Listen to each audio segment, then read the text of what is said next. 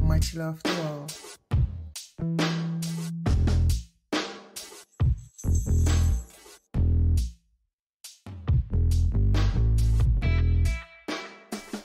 Since 2005 the bodies of several homeless men have been found murdered in brutal ways.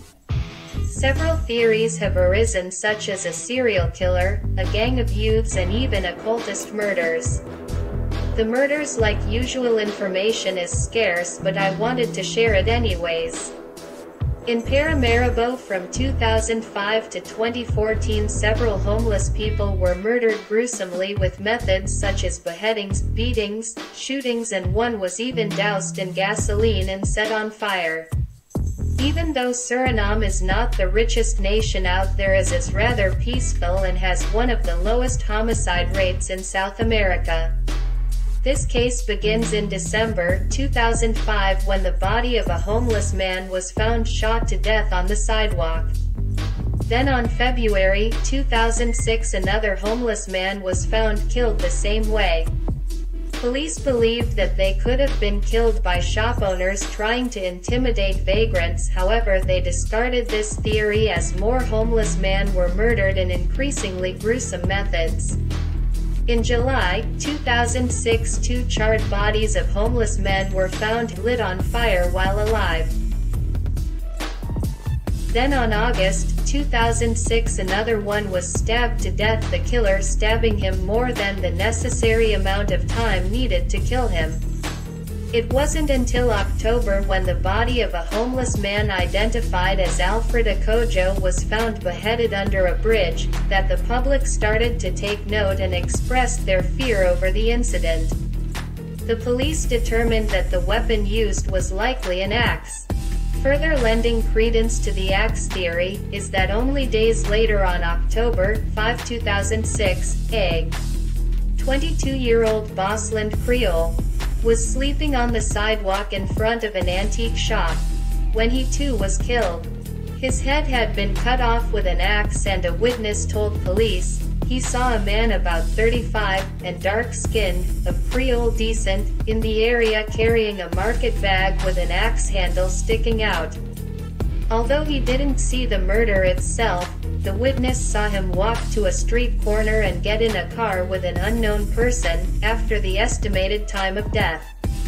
With this huge amount of homeless people being attacked and killed in such a short amount of time, and in overly violent ways, despite the bodies being found in public places, generated massive public uproar, and in response the police created a special task force, just to investigate these murders. However despite the task force, the murders did not stop. On October 12, 2006 a 35-year-old homeless man simply identified as PG was sleeping near a sports complex when his skull was crushed in by a large stone. On October 24, 2006 there was a survivor. A homeless man simply called Gene was sleeping at a street corner, and thankfully he woke up early and saw a man with a cleaver approaching him. He screamed loudly for help which scared the man causing him to run away. Police decided to increase security and their presence in areas where the homeless people were known to reside, hoping to catch the killer in the act. And for a while it seemed they did, as on November 13, 2006 police caught two teenagers in the act of beating up a homeless man with a club, and they were arrested and charged with all the murders that happened, up to that point. The two teenagers whose names have not been made publicly available due to still being minors, were both from wealthy and well-off families. Police believed that videos games may have given them the idea to carry out the killings. However after interrogations that theory was soon thrown out. The suspected ringleader was the 16-year-old son of a Pakistani immigrant and shopkeeper named Eduard Ramahi. One of the other teens were his son's cousin and two of his friends. According to them in December 2005 a homeless man tried to rob his father, when him and his friends beat him severally.